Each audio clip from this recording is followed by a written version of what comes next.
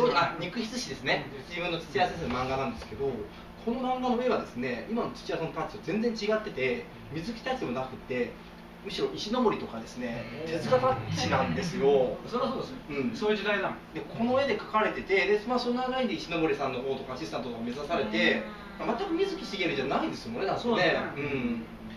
だから石森手塚のあのね絵で絵で言っちゃうと、うん。永永久に浮かばれないじゃないですか。うんうんあの自分のタッチをね作らないことにはね、でこれもねあの本屋の親父にね、はい。あの小学館へあの送ってもらってねうん。非常してもらったんですよ。高校1年の時に。あそうなんですか。3冊ぐらいね、はいはいはいはい。こういうこういう子供がいるからうんどうですかって。でその批評して帰ってきたんですよ、うん。で要するに非常なあの労作というか努力している作品でございますと、ところがあのストーリーは個性らしきものは感じるんだけど、うん。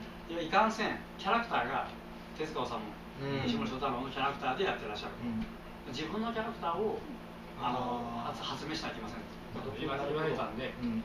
自分のキャラクターをやるにはどうしたらいいかというとまあね、うん。だからやっぱりこう絵のその頃はまあデザイン科いましたから、うん。デッサン、まあ、あ本格的な絵のねデッサンの勉強して、ーこうしてるうちに似顔絵もやれるようになってきたうんああもう。もう方からだんだんだんだんやっぱテクニックがついてくる。っていうまあ似顔絵から自分のキャラクターを発見してなるほど。なるほどで男のキャラは郷ひろみさんですよ。うんうん。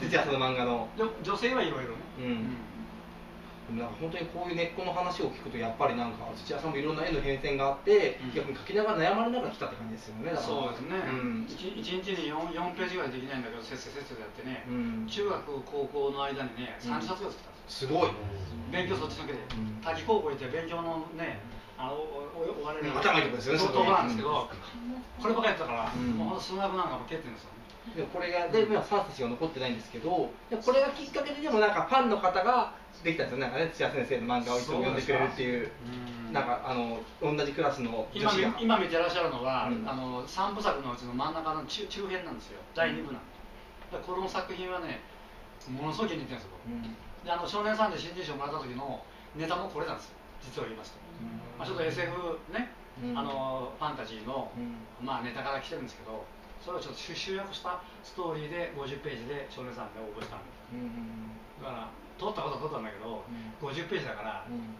乗っけてくるの。よ、ああそんなにページが取れないっていうだから怒ったんですよ、まあ、2, 2回に分けてやればいいじゃないかって言ったんだけど、で第2位のね、うん。柳沢君をうん。知ってますね、うんあれは乗っけたんですよ、16ページ。ああ短いから載せてもらえたっていう。ギャグ漫画で、まあ、下手くそな時ですよ。うん。で 4, 4位まであって、うん。2位と3位が乗っかったんですよ、16ページだから。はいはいはいはい。ギャグギャグ部門うん。でストーリー部門は僕とその、えー四位。第第4位がね、黒崎和人って言うんですよ。ああのー、わかりますこのこの二人は桂崎乗っけてもらえなかったんですよ。うん。だから変、ね、あの3みんなでも絶対プロになってることですよねちゃんとそこから、まあ、一応ね、うん。柳沢君はもう随分。いやいやいやいやいやいやいやいやいや。いや、うん。続編にねもう食ってかかったですよ、うん。喧嘩ですよ、ね、それがでも水木プロにいる時代、うんじゃあ若いからねやっぱね、うん。結局あの推しが強いよねやっぱね。うん。どうしなきゃないんだとかそんなね2位なんかの人で1位を乗せないどういうことだって思ったんですけど、あのまあまあそれはいいから次の次回作これこれ読めって言ってね。うん。読ましたんですけど、うん。これはどういうシーンですかとかね、うん。いろいろ言うんですよ、うん。これは女性があのね男性にちょっといたずらされてるシーンです、お前少年漫画でこんなこの初めからそんなんやったんですね水木先生これいいと言いましたから、ん。水木先生なんかの許許可なんか取りませんようん。その頃からもうね危ない危ないんですよ、うん。内容が、だ危ない結果あの法務者に拾っていただいてますよ、うん。あこれいいね乗せ乗っけようという、もともと成人誌ですねそっちのボツになったやつを、うん。あの少年チャンピオン持ったんですけどね、うん。少年チャンピオンでは乗っけるかもしれないなってみたいなこと言われて、うん。あの絵コンテの時にね、うん。で50ページまた書いたんですけど、うん。ただ編集長が最後 OK 出さなくて。ああこれ水木プロはクビになるわね。うん。であのか投げなしの原稿をね、うん。あの使ってくれなきゃ俺どうすんだいって、うん。本当知りたかったんですその時は。だから結果結果的にはその少年チャンピオン乗せてくれないんで、内容がちょっと激しすぎる。んで大人向けなっていうでアシュラとかね、うん。ゼリゲバの時代だったんあですよ。ジョージ秋山うん。だからこういう時代だから、うん。少年してもいけるだろう少年して俺いけると思って、うん。危ないやつを書いてみたんですけど、うん。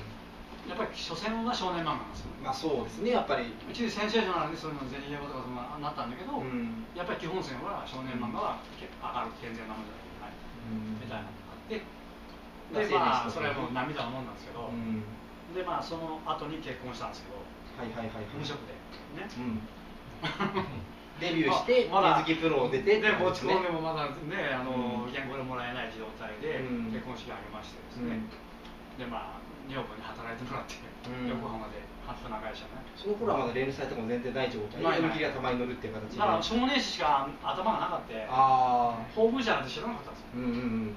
そしたらあのいわゆるデザインカレッジの漫画学校時代の,、うん。あの部長なんていうの,、はい。あの部長がですねそこクビになってね、うん。法文社で編集者やったんですね、はい。それを頼って行ったんですよ。そしたらもうな仕事みたいいくらでもあるぞって来い来いって言って、ね。でも法文社でデビューされてその頃はでも、まあ、官能劇画ではなくて普通で大人向けの漫画っていう感じですね。的な部分はちょっとだけあって、うんうん。ストーリーものですよね。うん。それチャンピオンでまあボツになったやつを、うん。ねそれ見せたら、はい。おいいじゃんこれ載せるけどねちょっとページ長いな37にしてくれへんかとか言って、うん。書き直さなかったね、はい。書き直してどうやって？でもう書い書いちゃった後にね、なんかジョキジョキ切りましてね。ええペタペタペタペタ貼って。貼り直して。でそう隙間だけ埋めて、うん。で持ってたら「ええー!」って初めて作品ね、うちに載せるのにこんな原稿持ってきたのは君は初めてだねあなめとんのかとか言っていやいやある意味でも精神的な。いやいやもう時間ないからしゃあないのけるな、うん。ねひどい話やね。